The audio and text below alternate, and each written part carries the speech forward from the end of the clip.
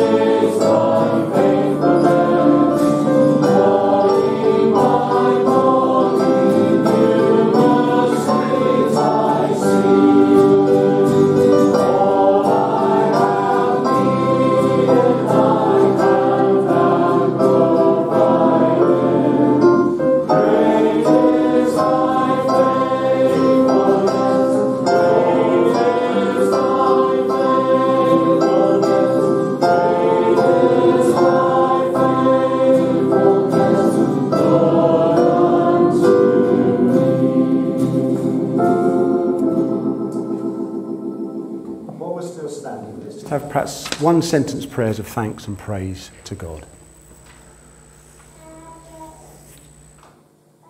Lord, we thank you for the blessings of the day, for the food that we've eaten, for the sleep that we've had, now the fellowship and opportunity worship in Jesus' name.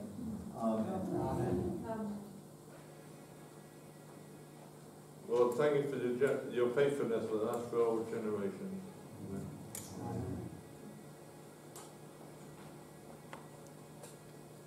Lord, we thank you for your loving kindness. We pray and ask to help us to show that to our brothers and sisters in Christ. In Jesus' name. Amen.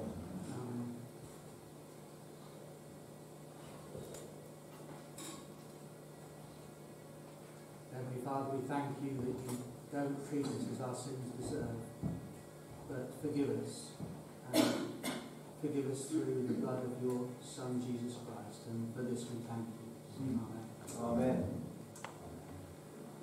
Heavenly Father, we thank you for the security and safety that you, you, you give us in this country. Mm. And we just ask you to look on those who, who, who need your protection. In Jesus' name I pray. Amen.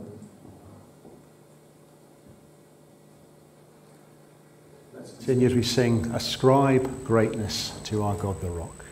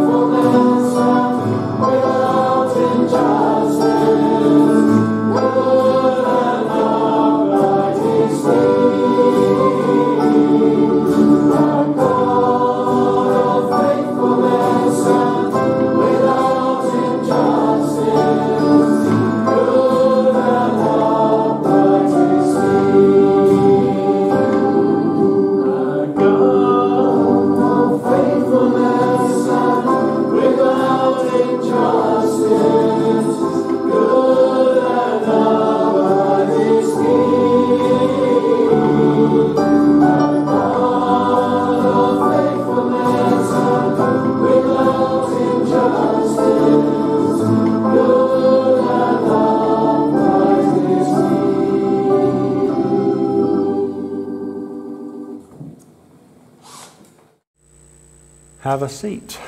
I would like us to, uh, to come to a, a, time of prayer together now um, and uh, to pray, as, as we said, particularly the things we've been praying for over the weekend uh, for the future of the fellowship, um, for you know, the, the position of, of, pastor, and for Michael, whether he is the right person uh, to come along, um, to pray for the outreach in the vicinity here, um, the opportunities we have as in the school here to, to do that, and to you know, just ask God to lead us and guide us on into the future. Um, I would like to sing one more. I'm going to change the order if I might. Sing Be Still. We'll stay seated and sing Be Still for the presence of the Lord. Um, and then we'll just come to time of prayer together. And do feel free to pray as you feel led. But let's stay seated and sing Be Still for the presence of the Lord.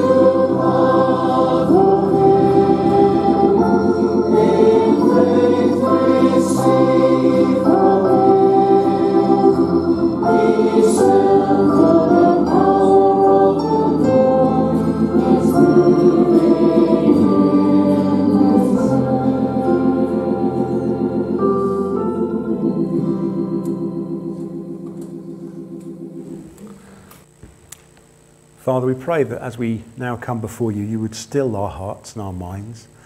Help us once again to focus on the Lord Jesus, mm. to be reminded of who he is and all that he's done for us. And as we bring our prayers and our petitions and our thanksgiving before you now, Lord, we pray that it might come with the right attitude, that it might come with a humble heart before our God, seeking to know your direction and your will. So hear us now, we pray, in Jesus' name. Amen. Amen.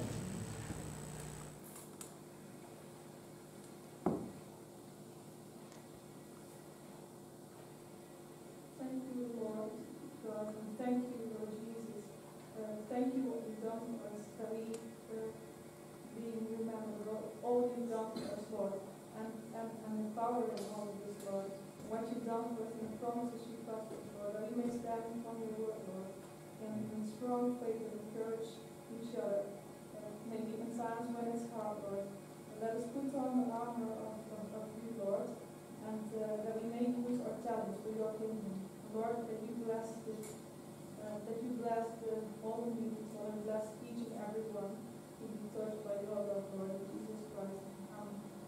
Amen. Amen.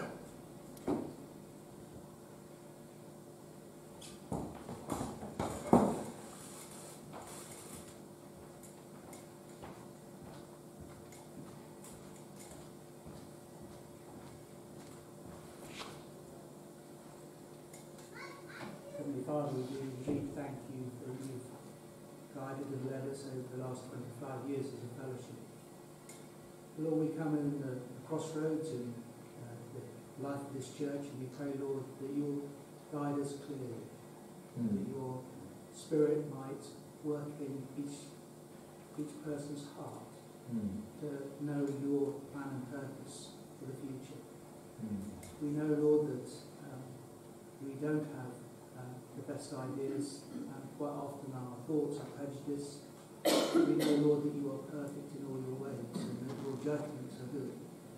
So we pray, Lord, uh, concerning Michael, that uh, you'll convict him if he's the right man to come here, Mm. and also convict us in our hearts that he's also your man. Mm. But if not, Lord, then direct us clearly, show us where we should go, whether it's something completely different or, or we're just looking for guidance. So Mm. answer our prayer as you promised in Jesus' name. Amen.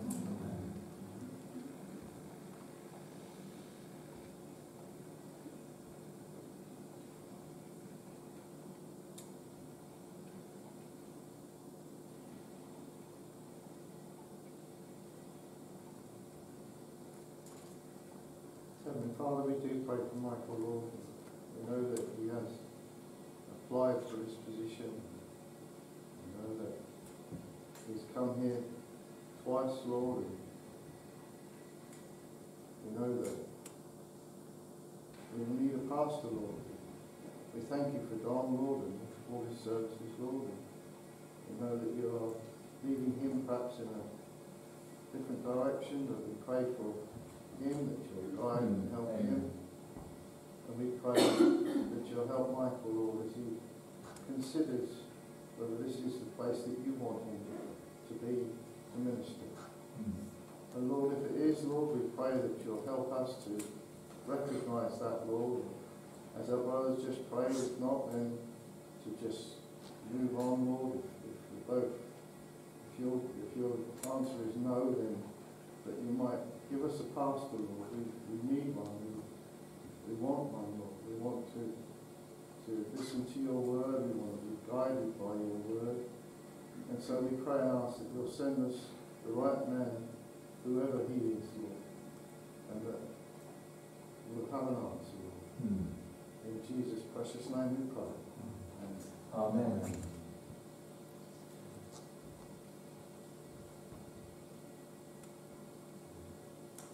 Heavenly Father, do thank you that you've uh, called us to be your children as a witness here in this place. And Lord, we know that each one of us has a, purpose in your plans.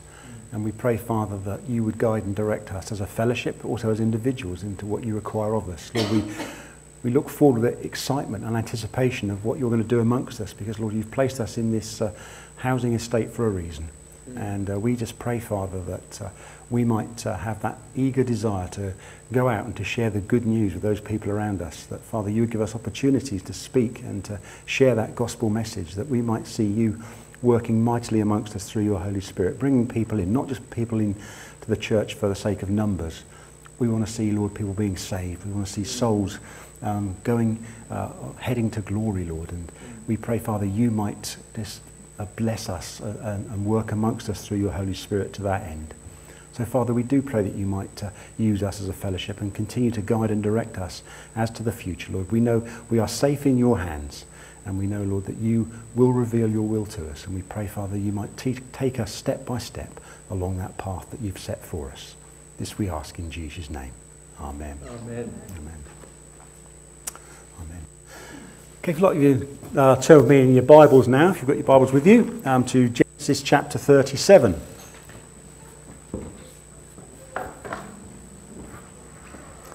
Genesis chapter 37. And we're going to read from uh, verse 1.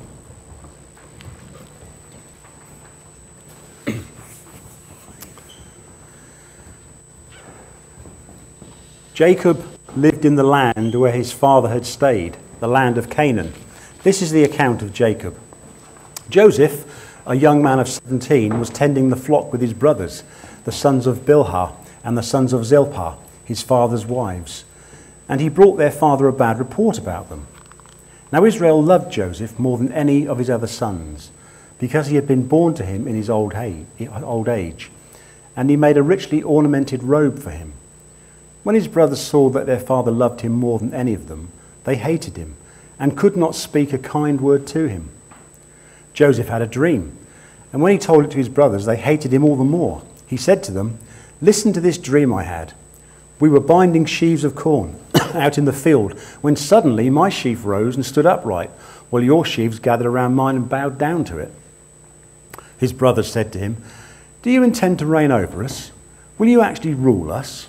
And they hated him all the more because of his dream and what he had said.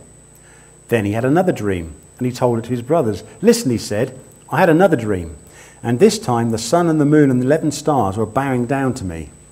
When he told his father as well as his brothers, his father rebuked him and said, What is this dream you had? Will your mother and I and your brothers actually come and bow down to the ground before you?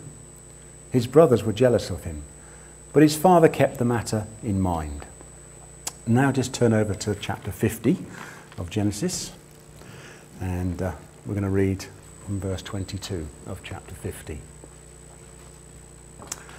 So this is uh, obviously many years later, and we read Joseph stayed in Egypt along with all his father's family. He lived 110 years and saw the third generation of Ephraim's children. Also, the children of Machir, son of Manasseh, were placed at birth on Joseph's knees. Then Joseph said to his brothers, I am about to die, but God will surely come to your aid and take you up out of this land to the land he promised on oath to Abraham, Isaac, and Jacob. And Joseph made the sons of Israel swear an oath and said, God will surely come to your aid, and then you must carry my bones up from this place. So Joseph died at the age of 110, and after they embalmed him, he was placed in a coffin in Egypt. Amen. Well, let's sing one more, then we'll come to look at God's word together. We're going to sing As the Deer Pants for the Water.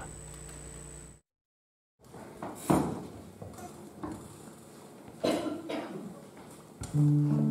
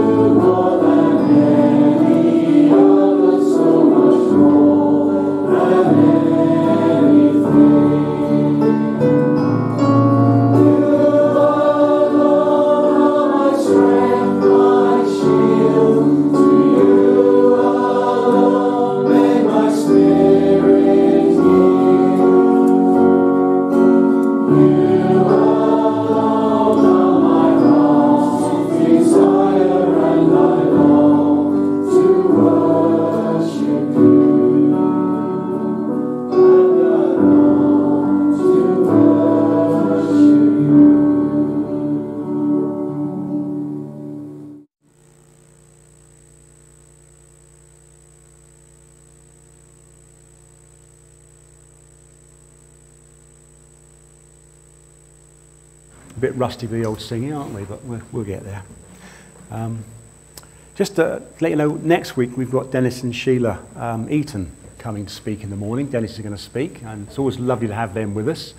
Uh, and they'll probably give us an update on the work in Malawi as well. So that's next Sunday morning. If you can join with us there, that would be great. Let's pray as we come to God's word this morning. Let's pray. Father, once again, as we come to your word this morning, we would ask that uh, you might speak to us through it, that your Holy Spirit would open our hearts and our minds and help us to have ears that are ready to hear.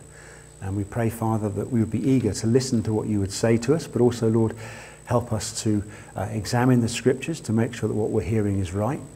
And help us, Lord, then to apply it to the way that we live day by day. So speak to us, we pray. In Jesus' name we ask it.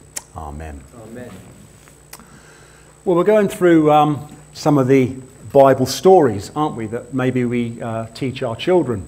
And sometimes we perhaps lose sight of uh, the, the, the, real meaning of some of these stories, or perhaps we see these stories as nothing more than uh, pictures or allegory um, uh, uh, for a, message that God wants to give us. And so we've been think, considering whether these stories are, have a basis in fact. Are they real or are they some uh, just allegorical fantasy.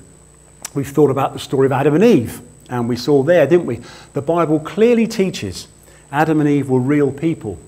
And uh, as we look through the creation account, we realize that it's a, it's a historical account. It's not supposed to be a picture language. It's meant to be read as reality. And uh, Adam and Eve were indeed real people. We looked at the story of Noah and the flood. And again, seeing the reality of the, event, the, the, the events surrounding the flood, uh, evidence of which is all around us today if we care to look at it. The flood brought judgment on mankind, but also it brought the promise, didn't it, that God would never flood the whole world ever again. Um, that's why he set the, the rainbow in the sky. And the next judgment that we face will be the final one, the day of judgment. And last time we looked at the story of Babel and the Tower of Babel. And we realize, even though this is quite a short uh, passage in the scripture, uh, this is a pivotal event in human history. Uh, because of man's failure, once again, to be obedient to God, because of man's selfish ambition and pride, that caused a separation between peoples, which is uh, still there today, of course, results in wars and disputes and arguments and all sorts of things. Because sin always separates. But God, in His great mercy, I didn't want to leave it there, did he? He provides a way back um, from that separation from sin. And Babel reminds us that in order to put things right, God came down. God came down to earth to restore that which was broken. And by trusting in Him, not only do we restore the relationship between ourselves and God, we also restore the relationships between one another. Well, this week we're looking at the story of Joseph and his coat of many colours. Now, believe it or not, there are many people who doubt the veracity of this story, or at least parts of it.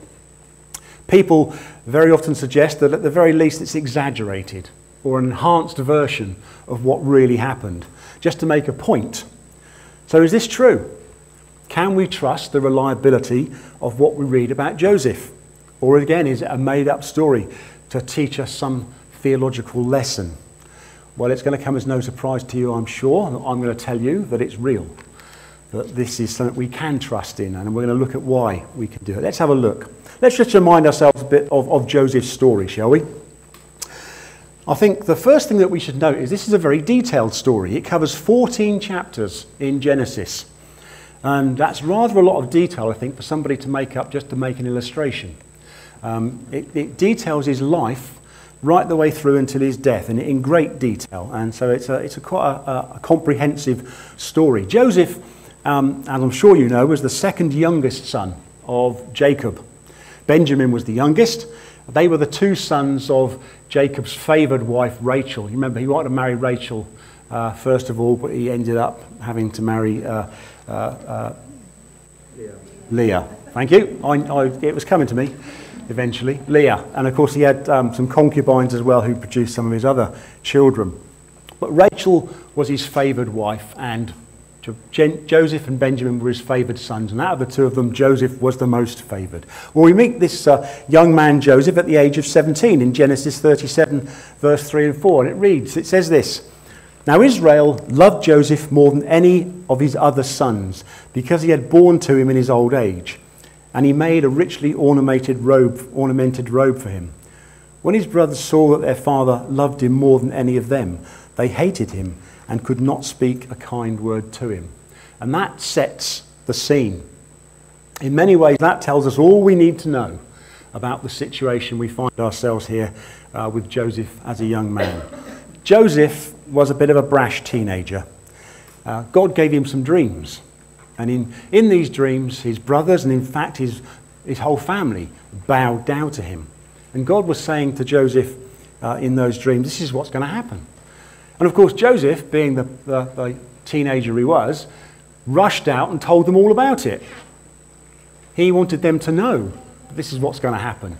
And of course, it, it didn't get a very favourable reaction, did it? And I, I can think we can all, all understand probably why that was. And of course, the result is I'm sure you know all about Joseph's life from then on in. His brothers uh, um, took the opportunity to uh, sell him into slavery. Um, they were going to kill him, but uh, Reuben, one of the brothers, stopped them and said, let's just sell him into slavery. So he was sold off to some traders who were heading down to Egypt, and they told their father, they took his coat, the, the richly uh, ornamented coat, and they put blood on it, and they said that uh, Joseph had been killed by a wild animal, and that's what they told their father. But they sold him into slavery, and he ends up in Potiphar's house, doesn't he? Um, and he, uh, we read in Genesis 39, verse 4 Joseph found favor in his eyes and became his attendant. Potiphar put him in charge of his household and he entrusted to his care everything he owned. See, Joseph still trusted in God and he worked hard and he did everything he should do, even as a slave. And he worked his way up in Potiphar's house to the point of becoming in charge of everything Potiphar owned. But of course, he was a handsome young man, Joseph, a bit like some of us. And uh, uh, Potiphar's wife took a, a liking to him, shall we say and, uh, uh, and she tried to seduce him. And of course, Joseph, who still was trusting in God, uh, turned her down, refused, and uh, basically ran for his life. And of course, she took offense at this and told Potiphar that he'd molested her, and basically, Joseph was then thrown into prison, wasn't he, as a result of that, unjustly sent into prison. Um, but again, we read in Genesis 39, verses 20 to 23. But while Joseph was there in the prison, the Lord was with him. He showed him kindness and granted him favor in the eyes of the prison warder. So the warder put Joseph in charge of all those held in the prison, and he was made responsible for all that was done there. The warder paid no attention to anything under Joseph's care because the Lord was with Joseph and gave him success in everything he did.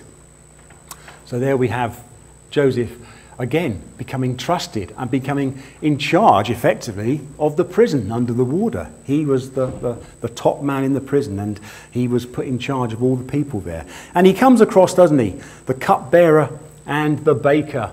He met um, these two guys in prison and he told them what their dreams meant and it ended up that the baker was going to be executed but the cupbearer will be restored to his original position. And Joseph says to the cupbearer, when you go back to Pharaoh, just remember me. And of course, the cupbearer went back to Pharaoh and completely forgot all about him, and Joseph stayed in prison. The chief cupbearer did not remember Joseph, he forgot him. And again, it was uh, years later that uh, Pharaoh has some dreams. And then the cupbearer remembers Joseph. I know somebody who can tell you about those dreams, he said. This guy in prison. So Joseph is summoned to Pharaoh, and uh, uh he interprets Pharaoh's dreams. He says there's a famine coming. There's going to be some years of plenty.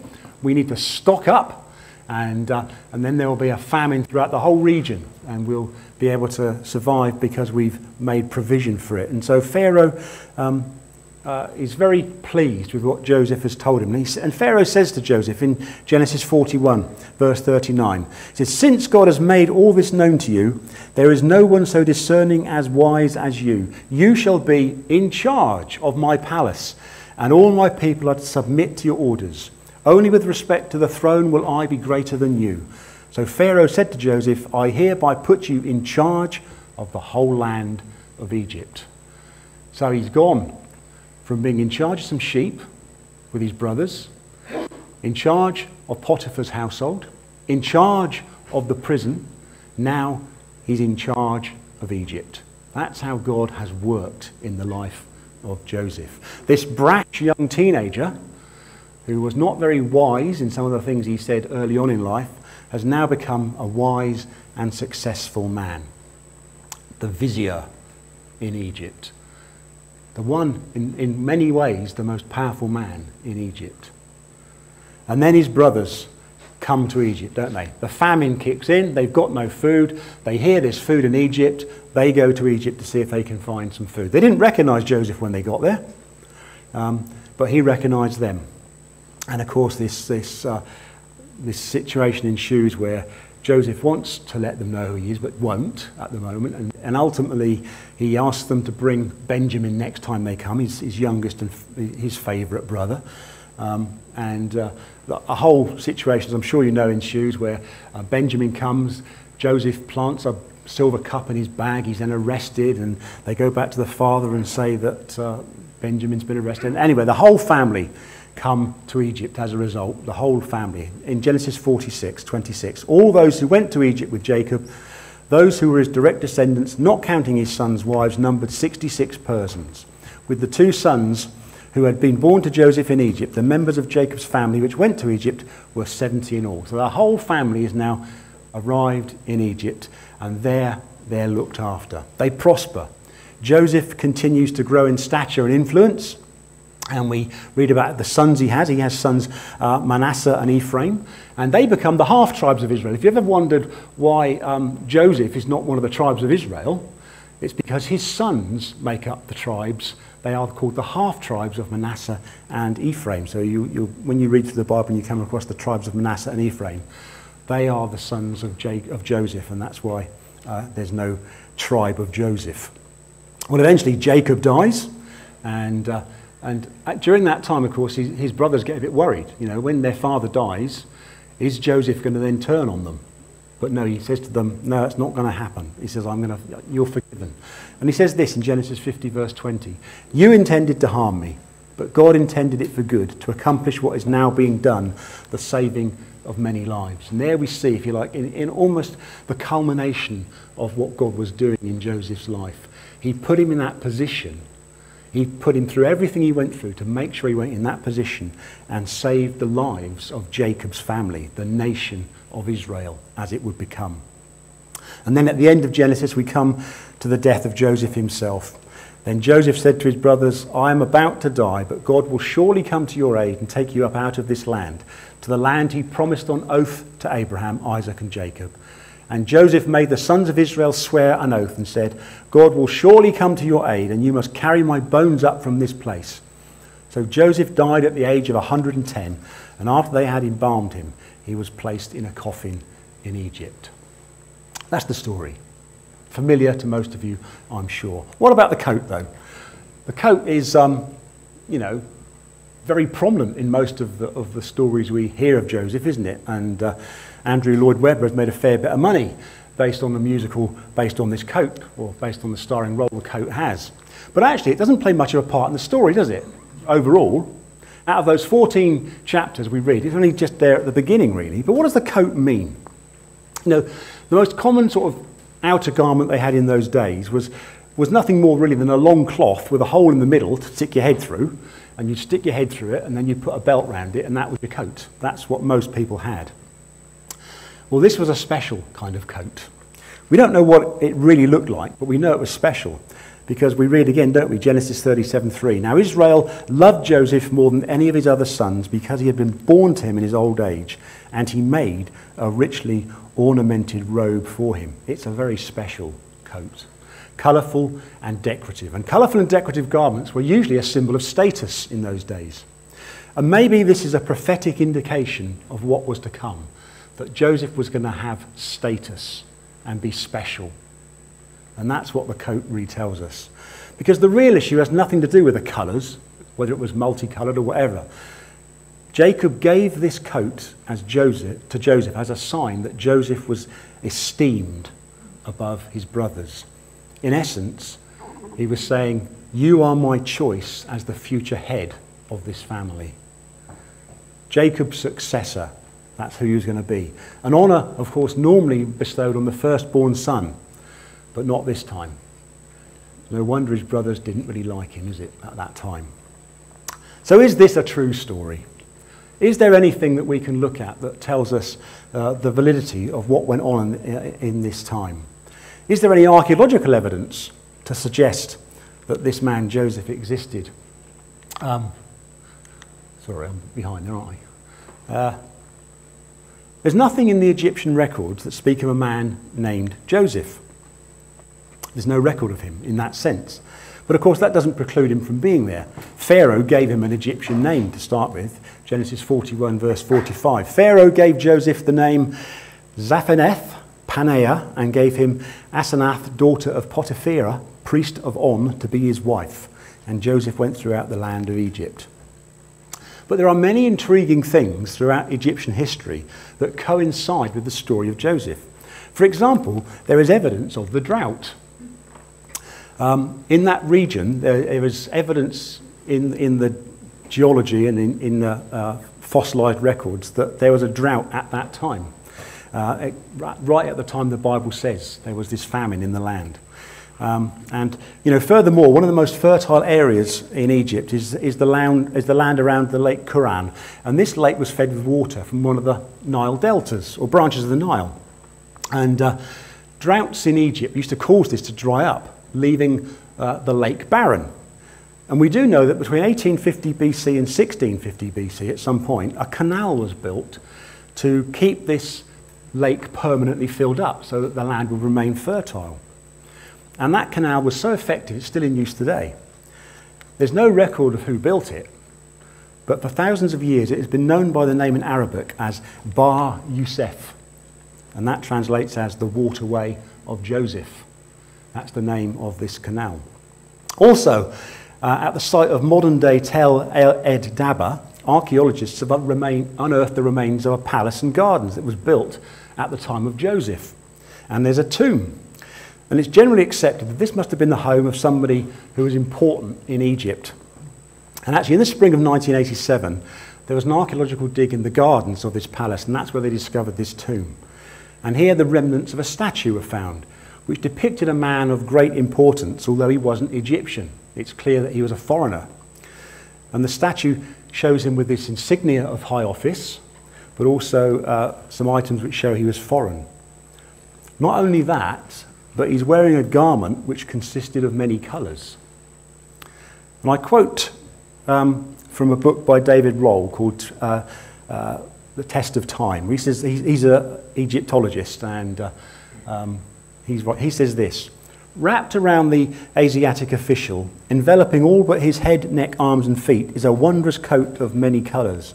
The rich reds and blues are trimmed with black and white to produce a simple but effective geometric pattern of stripes and rectangles, similar to the costumes worn by Asiatics, represented in the tomb of whatever that name is, uh, at Beni Hasan.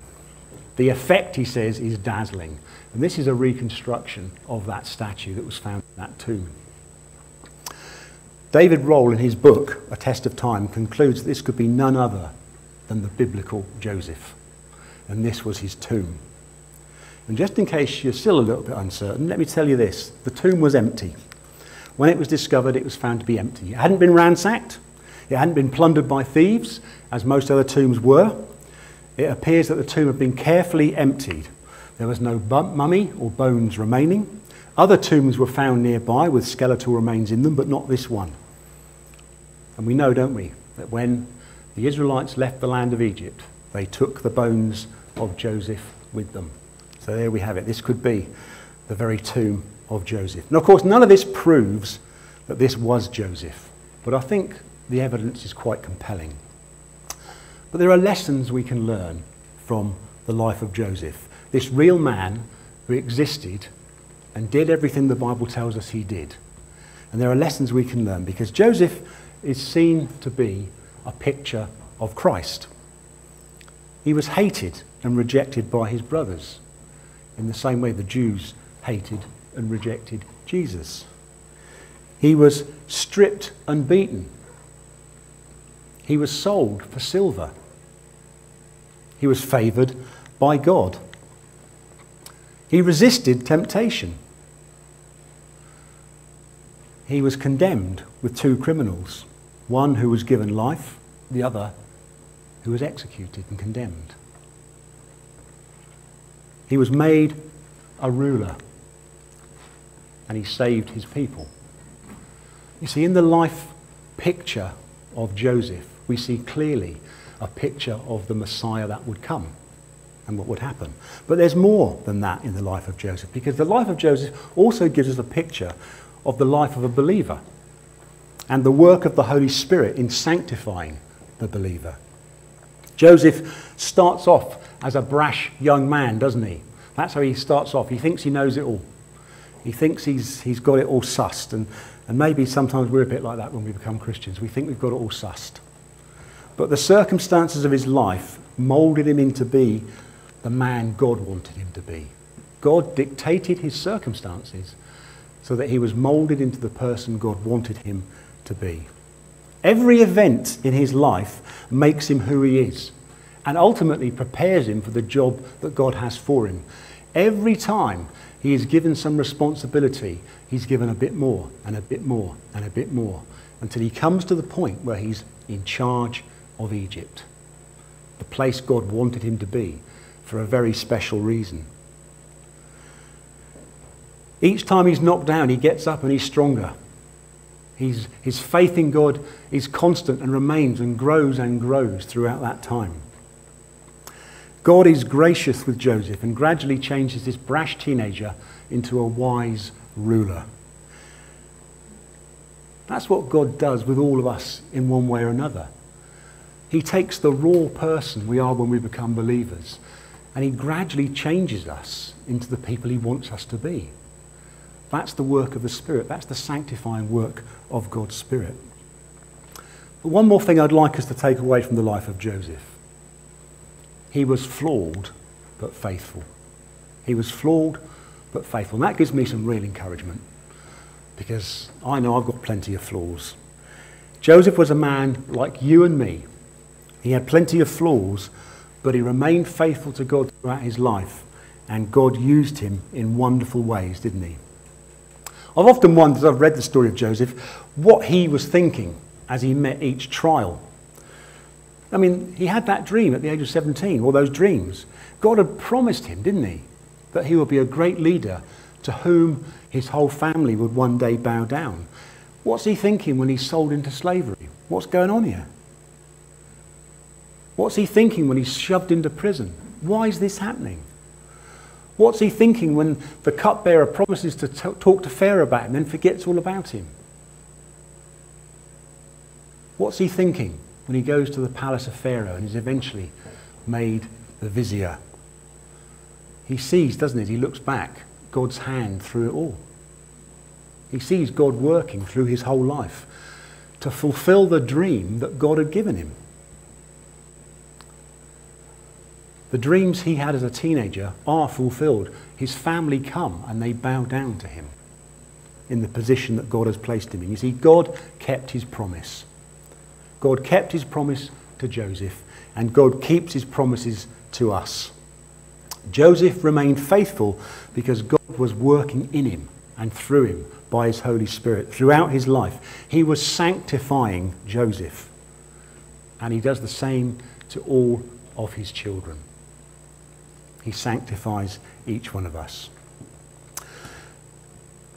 I think this is one of my favourite stories in Scripture because we see God's hand at work in ways that Joseph couldn't at the time. We see God working in wonderful ways through every moment of Joseph's life. If he hadn't been sold into slavery in Egypt, the nation of Israel would never have come into existence as they did because God took them to Egypt, and under his protection, that family grew into a great nation. And of course, when time came to leave, circumstances changed. A Pharaoh arose who didn't know Joseph, we're told. And the Israelites themselves were enslaved, but that's another story. God used Joseph to fulfill his plans and purposes in wonderful and miraculous ways. Because of what Joseph went through, the nation of Israel came into being. And they moved on, didn't they? As we will see in weeks ahead. But what I want us to learn from this is this God works in us and through us exactly the same way as he worked through Joseph. Joseph was not special. Cope was special. Joseph wasn't. Joseph was somebody who was simply used by God in God's service. A man who was flawed and yet faithful. And God can work through each one of us in exactly the same way. We're all flawed, but we can all be faithful. He will sanctify us. He will make us the people he wants us to be. Even though we might not understand the trials we face, God's purpose is always being worked out. And he is moulding us into the people he wants us to be, the people he can use in his service for the good of his people. Not for our good, for the good of his people. Joseph did not have a Technicolor dreamcoat, but a promise from God. And God made Joseph the man he became. I want to leave the last word this morning with John Owen, who says this about sanctification. Christians can be confident about their growth in sanctification and eternal security because they are confident in the God who promises it. He promised it to Joseph, he's promised it to us, and he always fulfills his promises. Let's pray. Father, we want to just give you thanks for this story of Joseph, Lord, and for uh, the many, many lessons we can learn from. Lord, we've just touched the surface of it this morning, but we just thank you, Lord, that there are many things that we can learn. And uh, we thank you, Lord, that we do learn through it that you are a faithful God, a God who always keeps his promises, a God who directs and uh, guides his people through situations and circumstances, sometimes that we can't see where we're going, but we thank you that you know where we're going and you're leading and guiding us. And we have that confidence here as a fellowship, Lord, not just as individuals, but also we know that you will lead and guide us as a fellowship and you will fulfill the promises that you've made in your word to us. And we give you thanks for that. So we ask your continued blessing. Help us to dwell upon these things, to perhaps read that story again for ourselves, to learn more lessons from it, and to just take to heart what you would teach us. This we ask in Jesus' name. Amen. Amen. So we're going to close uh, this morning by singing Guide Me, O Thou Great Jehovah.